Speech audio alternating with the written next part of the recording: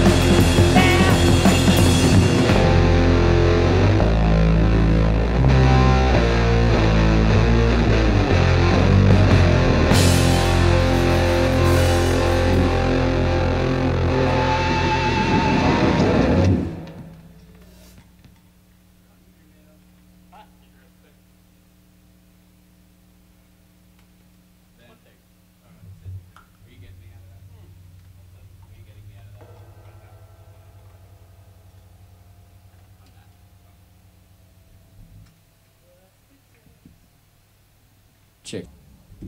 Did you turn it back down from where it was?